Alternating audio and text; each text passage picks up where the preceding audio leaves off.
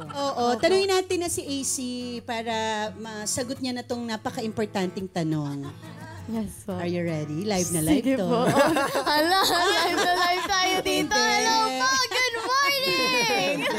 Paano ba si Kyle bilang friend? Ah, Yung totoo ha.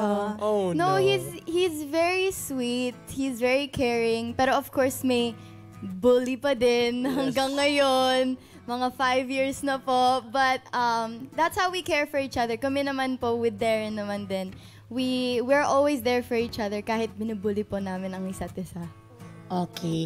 Pero alam nyo kasi yung bul- mga bully-bully na yan, parang for the char-char lang yan. eh. Actually, it- sa Tagalog, kulitan lang yan. Kulitan lang yan. Pero ba? minsan kasi char-char lang yung bully-bully na yan kasi talagang crush ka din yan. Ay, Oo, pwede. Hindi kasi, kasi alam namin na magkaibigan talaga kayo.